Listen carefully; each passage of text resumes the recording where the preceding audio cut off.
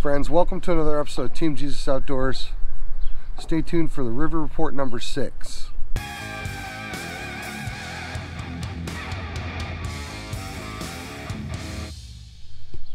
Hey guys, you all know that we got absolutely pounded with rain on Thursday night. And while of course rain always rain always muddies up the river a little bit, friends, what that rain did for us is that rain kicked up the water temps by five or six degrees. We now have surface water temp readings anywhere from the mid to the upper 40s depending on where you're at in the river. And it's not even April yet. I did get out yesterday. We got into a nice pile of fish, but we had to work for them. There's a lot of fish now in the river, especially small males. There's a ton of small males in the river. Yesterday we actually had quite a few short fish. Ultimately, friends, the fishing's getting better by the week. April is going to be some fantastic fishing. Hey, but like I've said before, guys, weekends in April are going to get crazy. There was a ton of boats on the water yesterday. I actually heard guys saying that launched at Wyandotte when they came back in the afternoon, they had to wait an hour and a half or two hours to get back, put it back on the trailer. Hey, so guys, remember to be courteous. Do your best not to tie up the boat ramps any longer than you have to tie them up. Take a little bit of time and be prepared so you're not that guy at the ramp that's tying up the ramp. Friends, the fishing on Saturday, March 27th was pretty decent. I heard and I read a lot of mixed reviews. Some guys really hammered them, some guys kind of struggled. Um, we did not find the fishing to be easy, but we found the fishing to be pretty decent. We had to really work to find our fish and we had to really work to stay on them. But the water had a nice stain to it, not super muddy, and the water had warmed up a lot but it'll get better and better.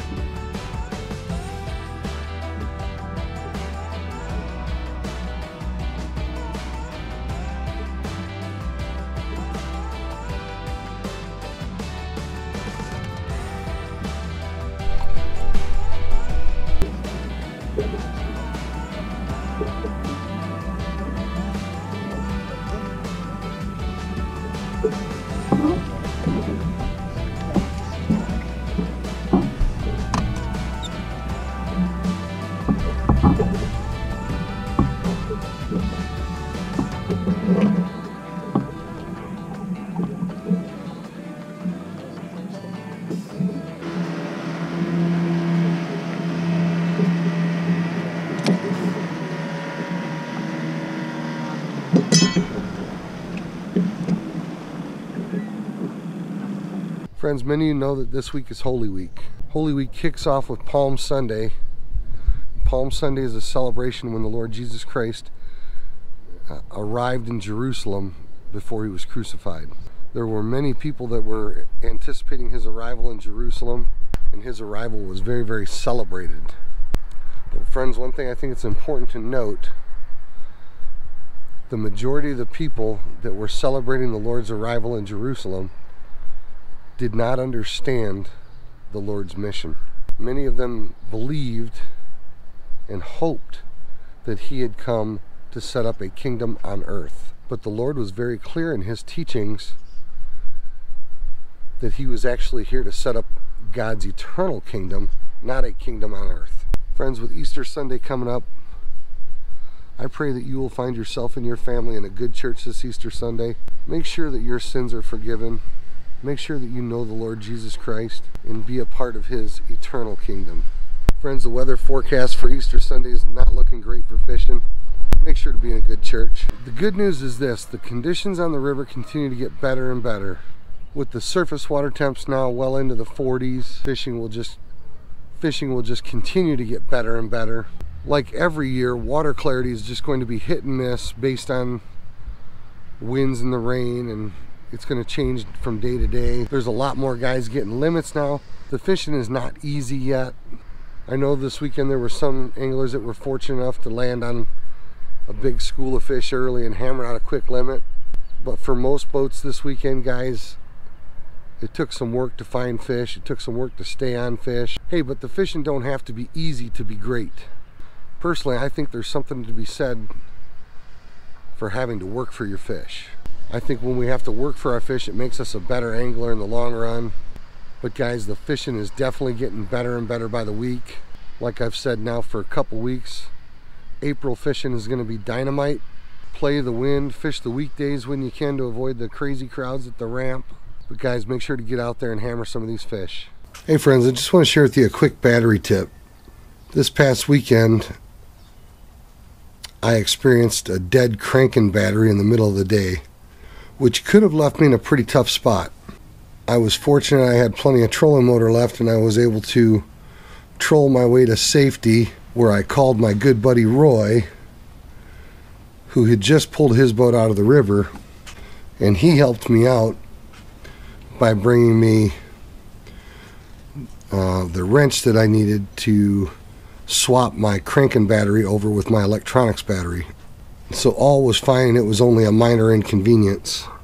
Big shout out to my buddy Roy. I appreciate it, pal. I owe you one. But hey, I just want to give you guys a quick tip. Particularly in the spring after a long winter, we need to pay extra attention and be very careful that our that our boat's batteries, particularly our cranking battery, is in good shape. Now, there are two types of batteries. There are maintenance-free batteries, and there are batteries that you can maintenance. This happens to be a battery that can be maintenance. So you can pop these covers off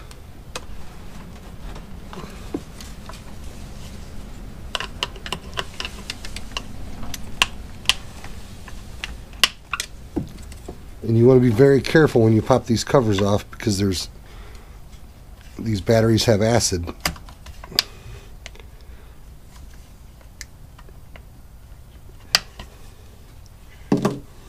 by popping off the cover of the battery you can take a flashlight and check down in each of these holes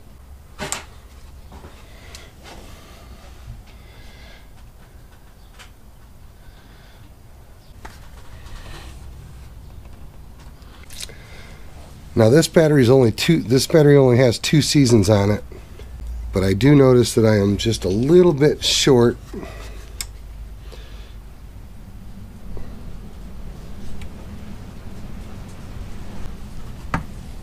I do have a little bit of room to top off these batteries. The only thing that you can use to top off these batteries is distilled water. So I'm going to grab a jug of distilled water and top these off. I'm running more electronics than on any of my boats I've ever ran before. They're pulling two to three times the amount of current as electronics that I've run in the past. So what I recommend, if you have the room in your boat, I recommend running an additional battery just for your electronics. When I first bought this boat, I, I installed an additional battery just for my electronics and swapped out my charger to a two bank charger. So all season long I keep a second deep cycle battery charged just for my electronics. This battery also serves the dual purpose of in the event that I have in the event that my cranking battery dies I can use the second battery to jump to jump start my cranking battery. Hey thanks for watching another episode of Team Jesus Outdoors. God bless tight lines. We'll see you guys on the river